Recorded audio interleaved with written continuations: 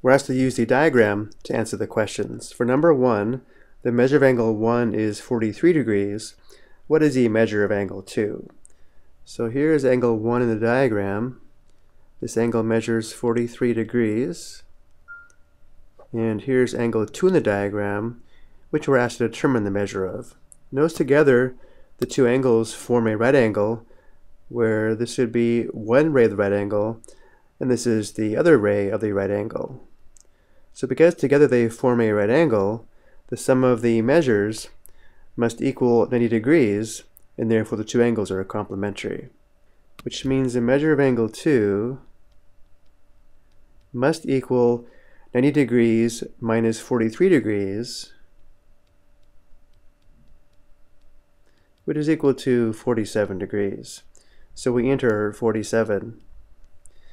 Number 2, the measure of angle 3 is 141 degrees. What is the measure of angle 5?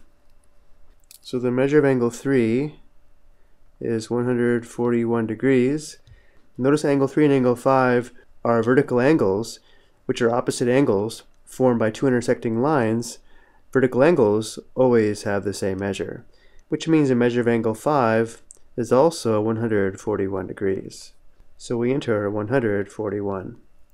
For the last question, if the measure of angle 3 is 141 degrees, what is the measure of angle 4? So now we want to determine the measure of angle 4, this angle here, given the measure of angle 3 is again 141 degrees. We'll notice together these two angles form a straight angle which measures 180 degrees and therefore angle 3 and angle 4 are supplementary.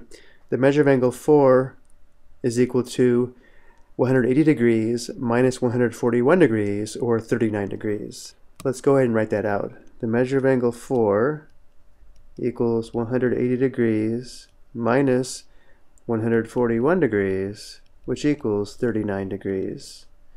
We enter 39. I hope you found this helpful.